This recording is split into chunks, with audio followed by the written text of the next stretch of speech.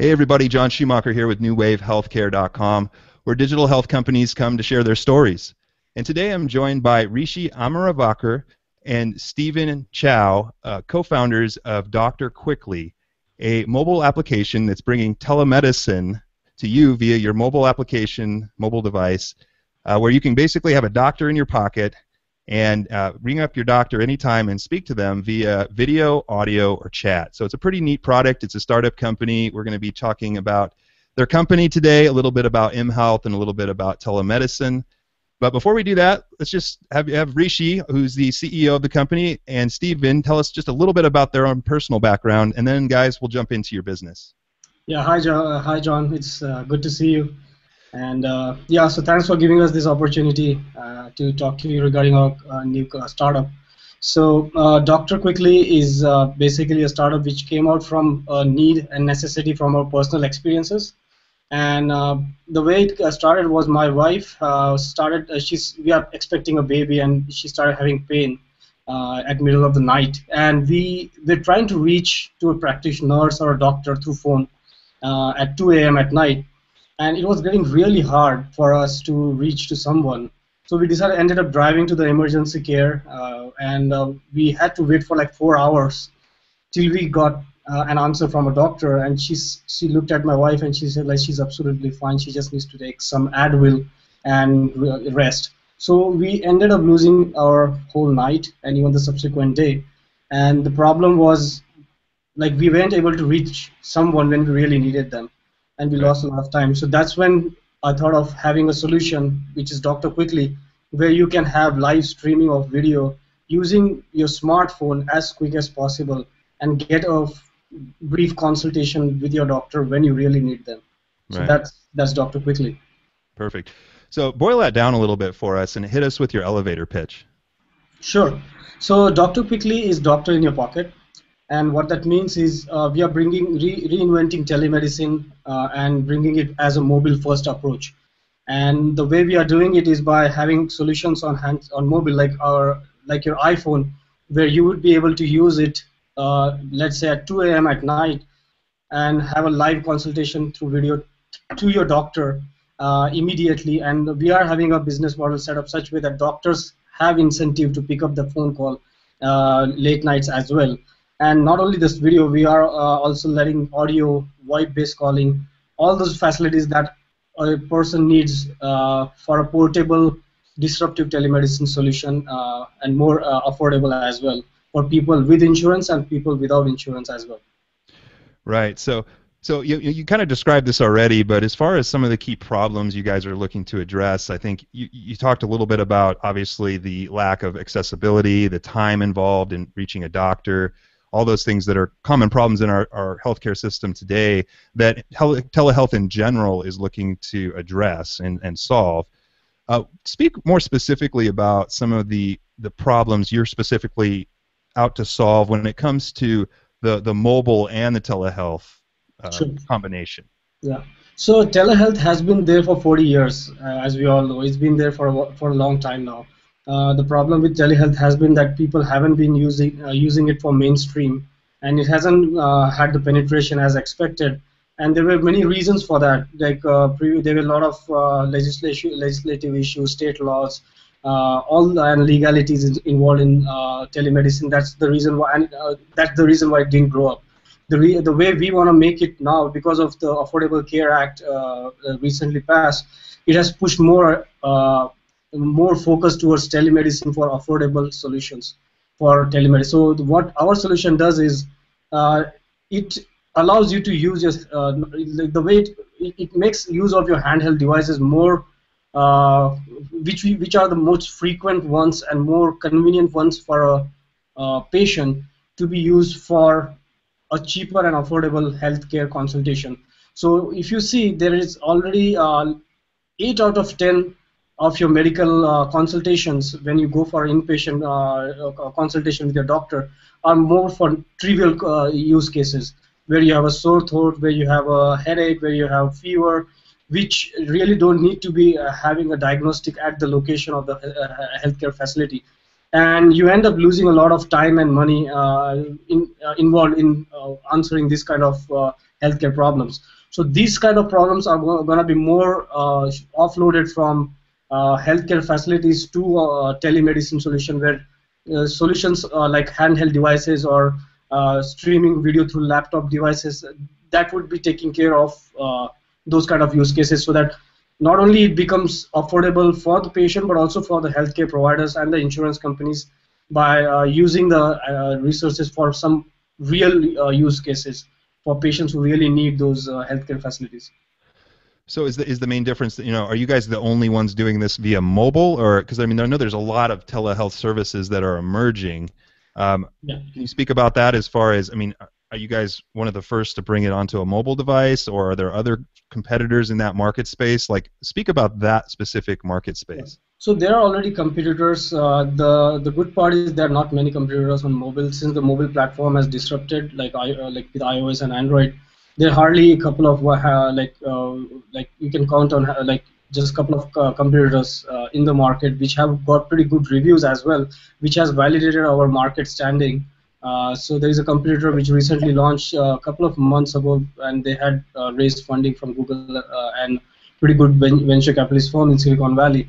So uh, and so those kind of solutions, there are already a couple of them. We are differentiating ourselves with some innovative solutions. We are the first ones to be having telemedicine conference not only from handheld device to a uh, laptop like streaming live, but also handheld to handheld devices. So mm. not only a doctor, maybe a doctor is on vacation and he uh, he's uh, it's a Sunday and he's with his family and he has a patient who has a chronic uh, a serious uh, issue which needs to be addressed immediately.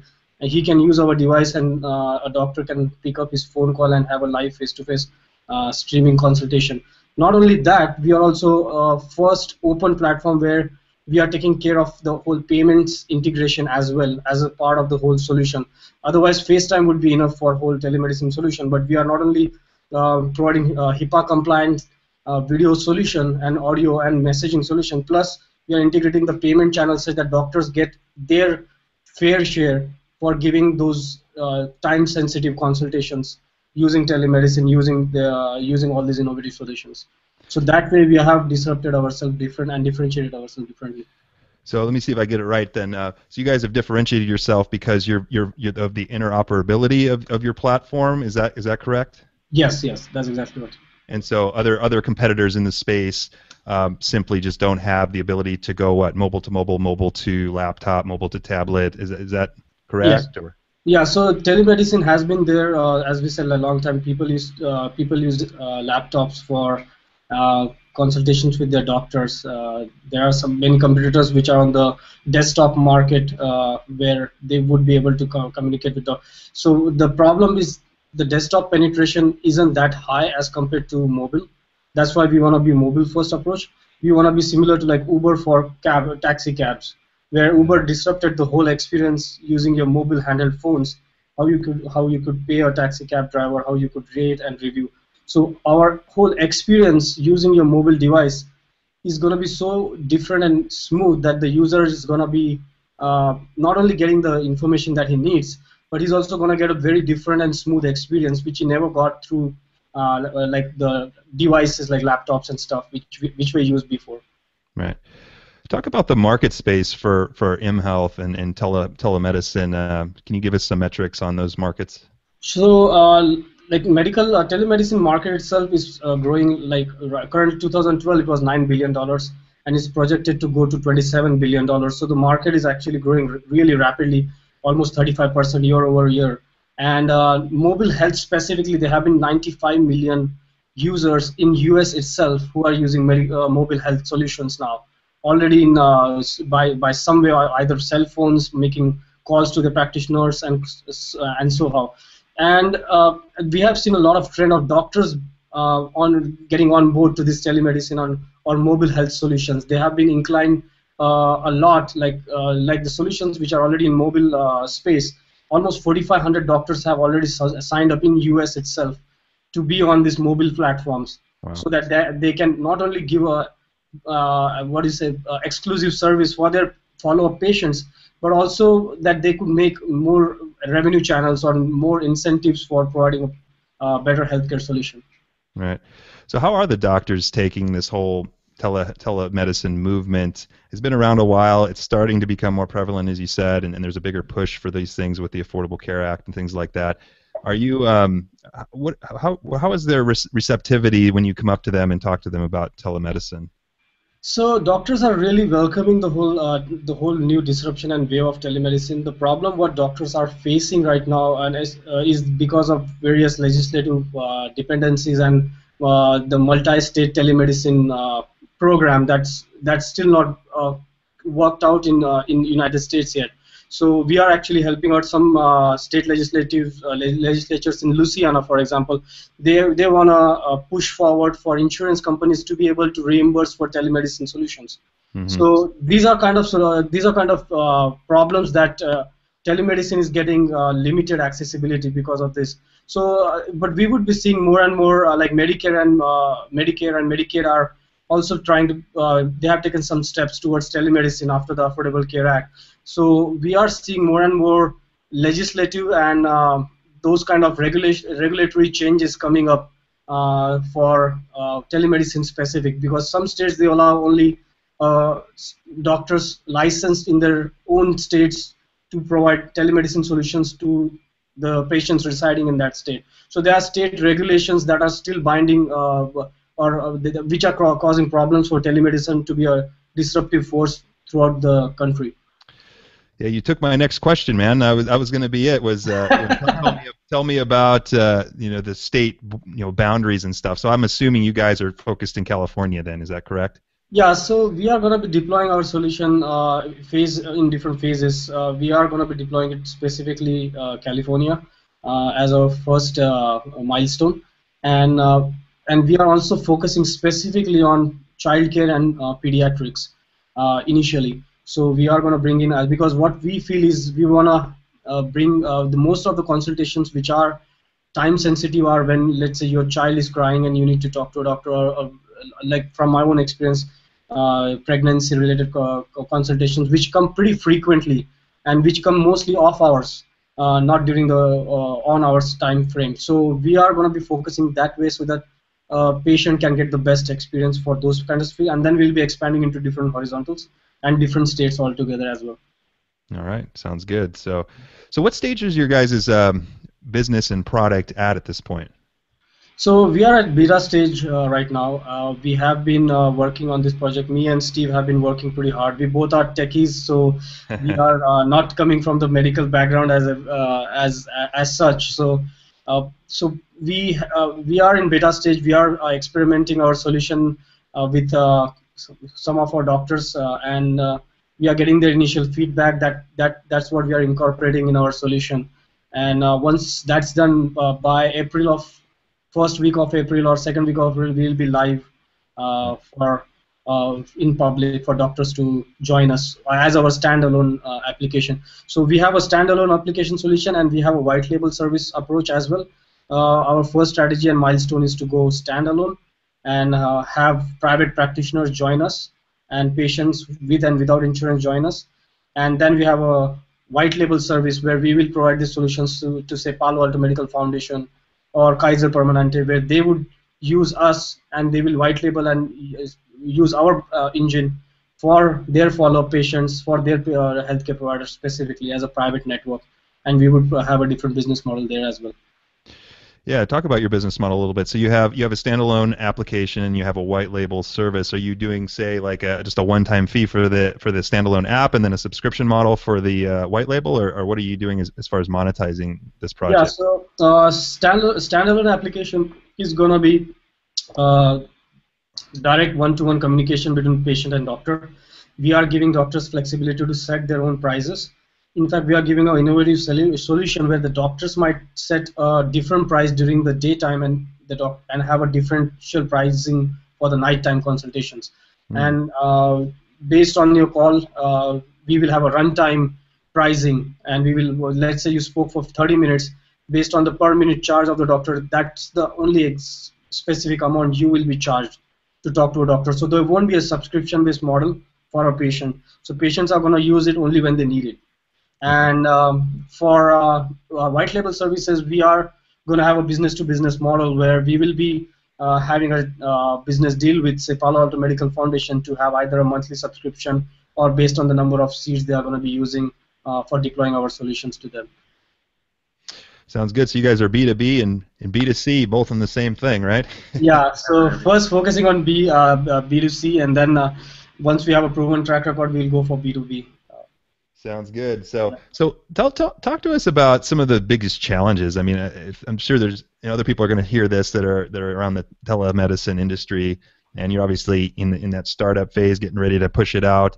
Um, talk about what was the biggest challenge you faced when you were as you were building this project, uh, this product, and and figuring out what you needed to do to put this together.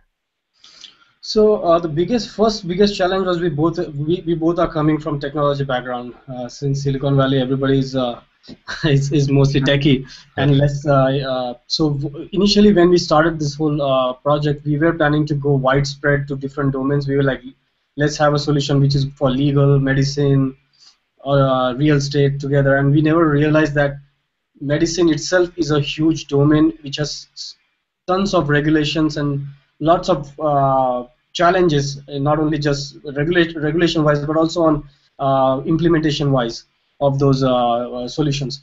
So when we realized that we had to focus on a specific domain, uh, and we chose medicine, we both were coming from a non-medicine background, so we had to take some uh, smart advices from many healthcare experts and advisors who are part of our team now and uh, who are CIOs and CTOs of many healthcare uh, preventive healthcare companies.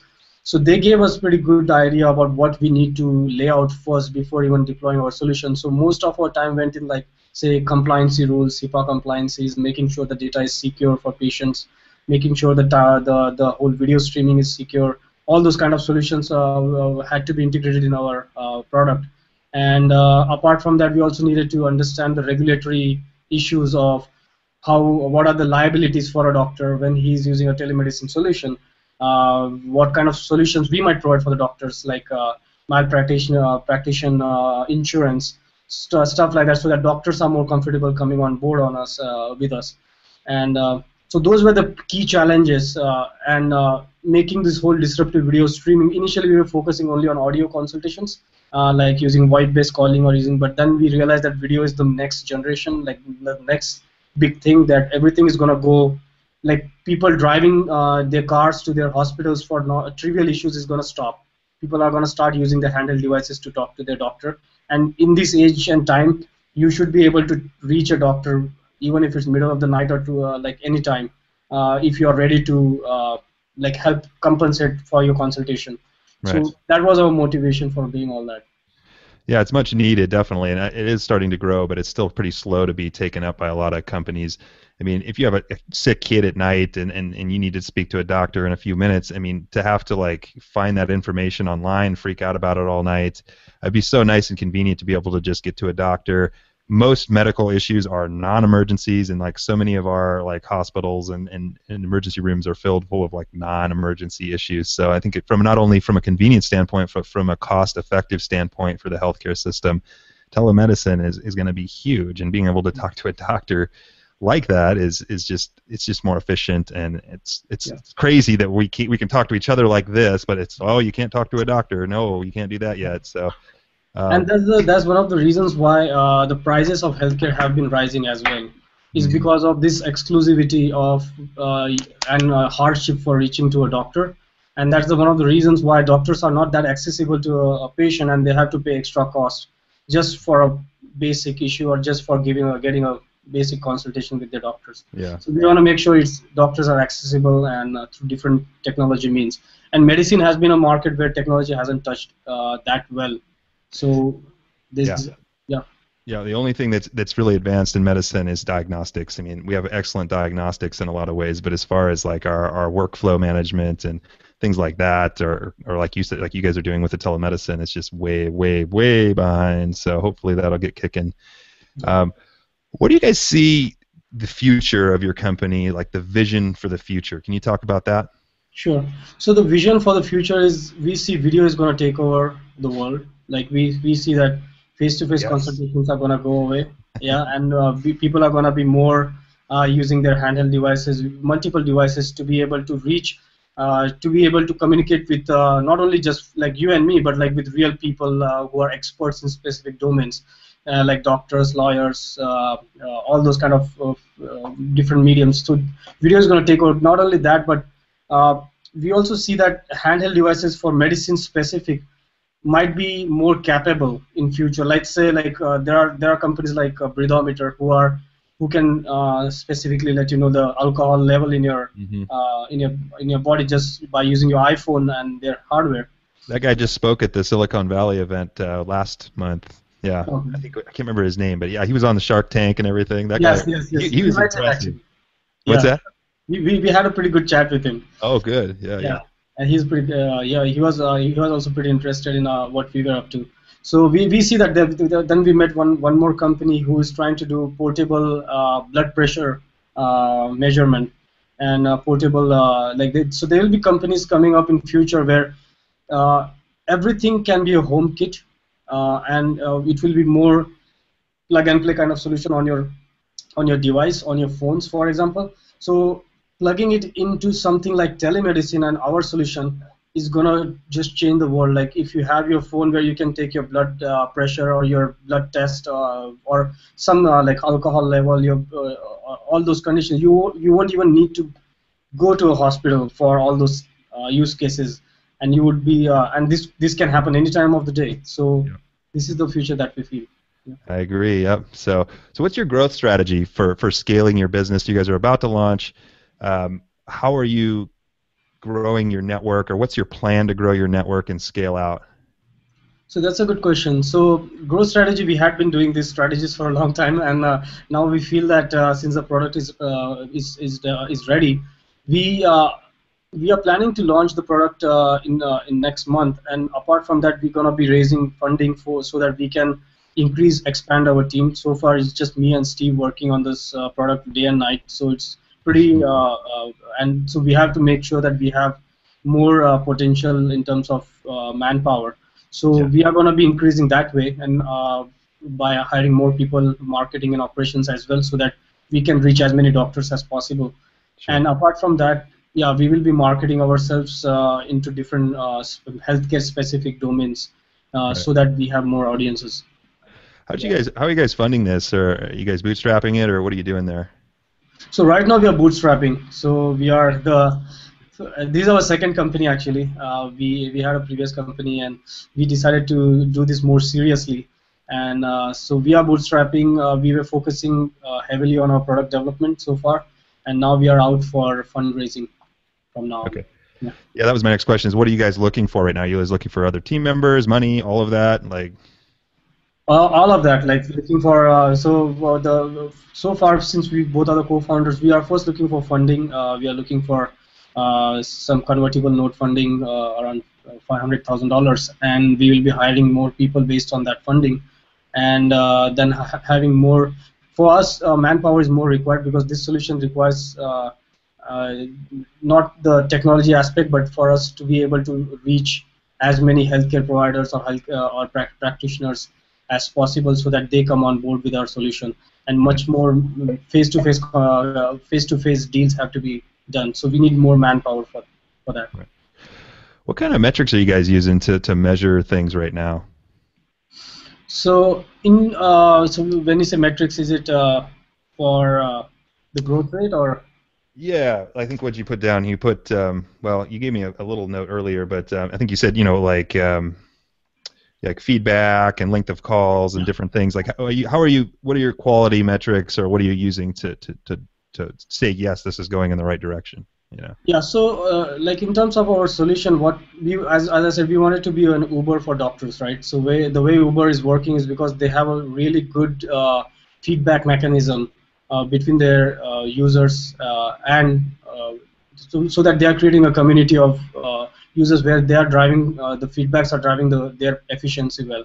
So we have a very strong. We, we will be we are already having a feedback mechanism in our solution where once your consultation is complete, you can directly uh, give a feedback for your specific consultation or give a customized feedback with your doctor.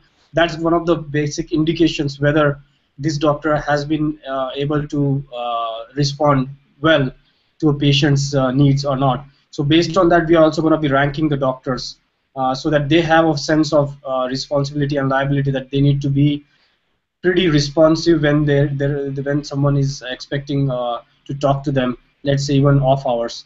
So those kind of metrics are going to help drive their performance apart from that, let in, when we are so providing white label solutions, we want to make sure that uh, we provide uh, like uh, white label solutions. We want to make uh, like we want to provide some matrices to say Palo Alto Medical Foundation that this doctor was able to answer this patient's consultations at middle of the night, or these many calls were answered by this doctor, so that they can, that can be used as a bonus, right. like some bonus for the doctor through the through their healthcare provider. All right. So yeah, as we're getting towards the end of, the, of the conversation, uh, Steven, you want to you want to add anything on, onto what Hrishi's saying, or is he is he covering it pretty well? Is he doing a good job? Yeah, I, I don't, I don't want to put you on the spot. he, has got it. He's got it covered, or. Yeah, I was just gonna say also for the uh, for what Hrishi just covered um, about the feedback or um, what other metrics we're going to look at. Also the length of time that um, a call has been made, and the the longer that we'll see the trends on how long the length of the calls are, and also we'll look at like the pricing structure of what doctors want to set. Uh, all that will be taken into account about like how well um, the ecosystem is working out and what changes need to be made to make it better.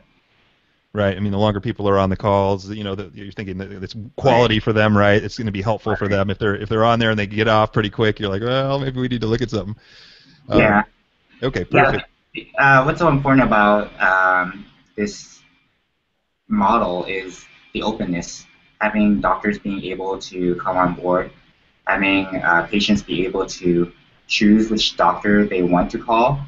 Not only that, but being able to read. Um, what they've, you know, like a little bit about them, what their specialties are, and be able to re- look at their reviews before actually making the call. That's uh, sure. what differentiates from everybody else. Sounds good. Yeah. Sounds good. All right. Well, here's the last question of their interview, and it's a little bit of a doozy, so maybe you guys would think about it a little bit. But uh, let me just hit you with it here. So let's say the affordable you woke up tomorrow and the Affordable Care Act added another new piece of legislation and it was geared for your company, what would you want it to read? Uh, we would say that there should be a multi-state telemedicine program, and where uh, a doctor from California should be able to give a medical consultation for a doctor in New York, for a patient in New York. So the whole telemedicine borderline has to be removed, and the complexity of each state-wise legislation, uh, or uh, making it more on the country-wise or federal uh, state legisla- federal legislation for the telemedicine would help us tremendously yeah. in growing uh, the I, company. I agree. I agree. You'll see, though. I, I, my understanding of that situation is there's quite a bit of money and some politics involved with with licensures and stuff like that across yeah. states. So and we'll see. Also, yeah, and also that insurance companies should be on board now, so that they would be covering up the cost for telemedicine consultations. Uh, in, in, long run, it's actually not even long, short term as well. It's helping them uh, by providing cheaper costs and expenses for them. Perfect. Yeah. Well said. Well said. So, guys, as we wrap up here, um, let's just tell our viewers where they can find out more about you guys, and then we'll say goodbye. Sure.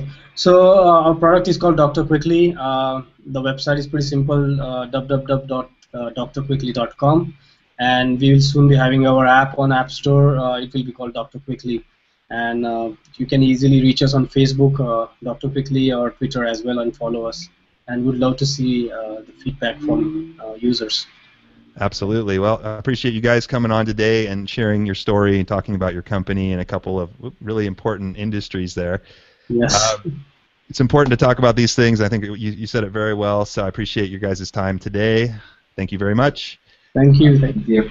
Yeah, and so I hope everybody enjoyed that conversation. Uh, a lot of good information on kind of the pieces behind creating a telemedicine company and some good facts about those industries as well. Uh, we'll have a replay of this interview. If you're listening to us on iTunes, go over to newwavehealthcare.com forward slash Dr. Quickly, and you'll get a recording of the video conversation, of course, the audio, all the links to DoctorQuickly and, and Hrishi and Steve and all, all of their contact information. Uh, so go over there, check it out. Uh, it'll be newwavehealthcare.com forward slash DoctorQuickly. Uh, if you're watching this on video, go ahead and click on the, the uh, iTunes tab on the, in the sidebar of the website, the newwavehealthcare.com website, and check us out on iTunes. If, you, if you're looking to listen to something in your car or at the gym, we have interviews every single week where we interview people who are hot and fresh in the healthcare industry. So check us out there, subscribe to it, leave us a nice rating and review. And I think that's it for today. Um, I will see you guys at the next interview.